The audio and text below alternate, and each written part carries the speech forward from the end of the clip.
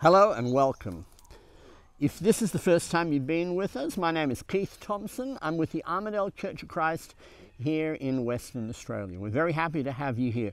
We're continuing with our study on the parables of Jesus Christ. And today we're going to be looking at the parable of the marriage feast.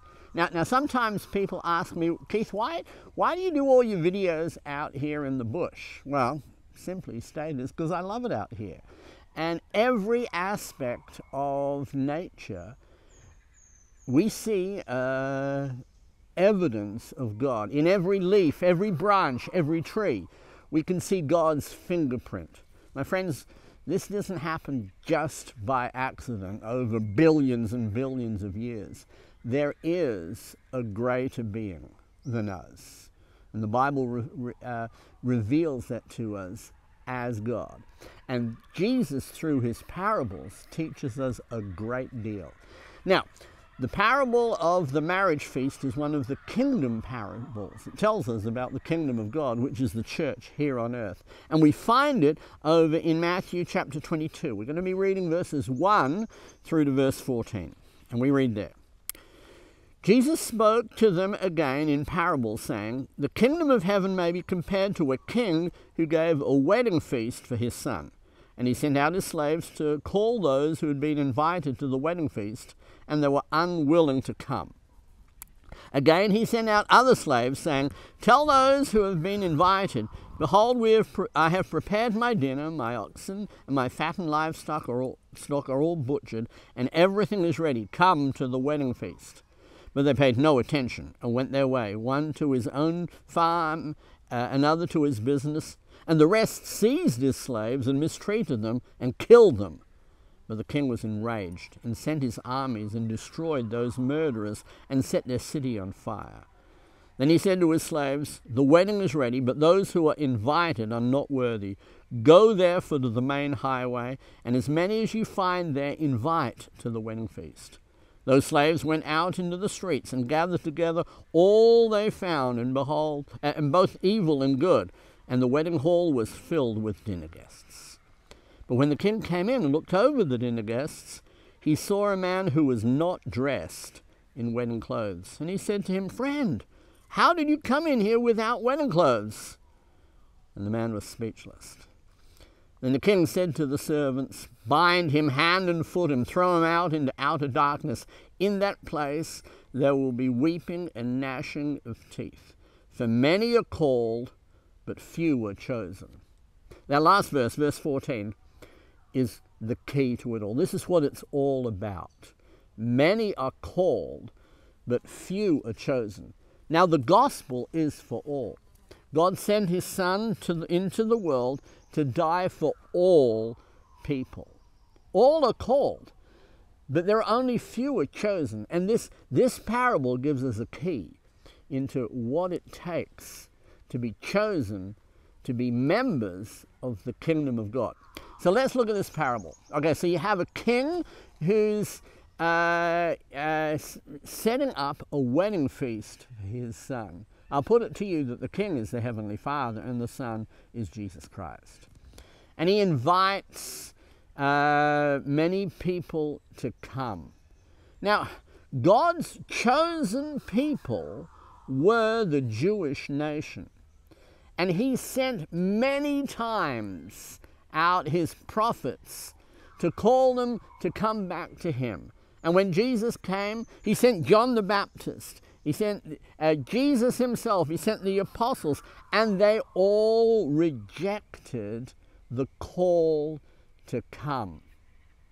And so, having done that, then God called the Gentiles, the rest of the world.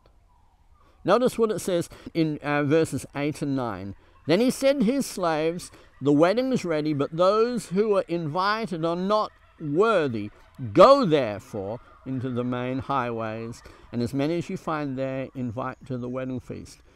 This goes back to uh, the Great Commission, where Jesus said, Go therefore and make disciples of all the nations. We have to go and preach the gospel. This is what it's talking about. Okay, now, the wedding feast is the end of the age.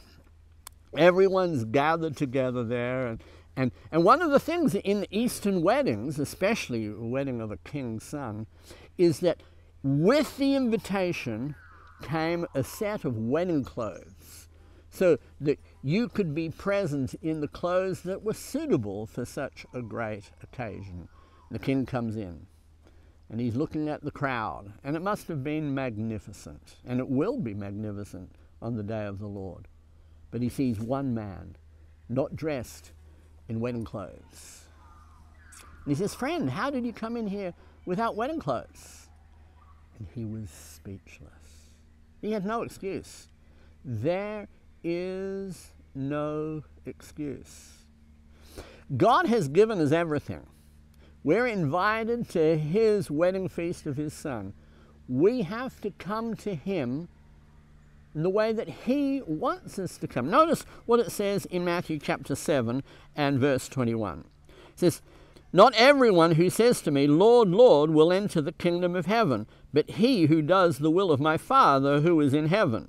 Many will say to me on that day, Lord, Lord, did we not prophesy in your name, and in your name cast out demons, and in your name perform many miracles? And I will declare to them, I never knew you. Depart from me, you who practice lawlessness.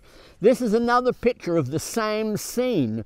This, these people are invited to the wedding feast. These people are standing before the Lord on the day of judgment.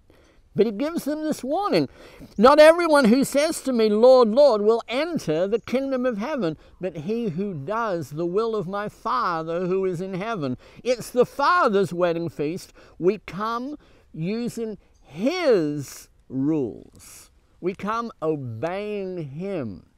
You know, there are many people to say, say today, oh no, we don't have to obey the Bible because we're, we're under grace, not under law. That's just foolish. The king tells us what to do. We need to do what he says. It doesn't matter what we do if it's not found in the scriptures. We'll be cast out and there'll be weeping and gnashing of teeth. Now, what about the wedding clothes? Uh, what do the wedding clothes refer to? What is that talking about? Well, in Galatians chapter 3, in verse 27, we read, For all of you uh, who were baptized into Christ Jesus have clothed yourself with Christ. uh, the wedding clothes of Christ Himself. We have to be baptized into Christ. And then we are clothed with Christ. Oh, my friends. I come across many people who say, oh, you don't need to be baptized to be saved. That's just foolishness. That's not what the Bible says.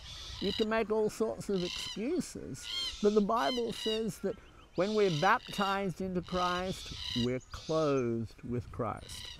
Notice what the Lord Himself says in Mark 16 and verse 16. He says, He who has believed and has been baptized shall be saved, but he who has disbelieved shall be condemned. We have to obey the will of the Father. And the way that we have our sins forgiven, the way that we are saved, the way that we are clothed with Christ is by being baptized by immersion in water for forgiveness of sins. My friends, all, all are called to the wedding feast. We all are called, but few are chosen. Those that are chosen are those who come in obedience to Christ Jesus, our Savior. Well, if you have any questions about this uh, parable or anything else, put them in the comments below. If you've enjoyed this video, hit the like button and subscribe and come back. We have these videos each week and we look forward to seeing you. Thank you, and we look forward to seeing you next time.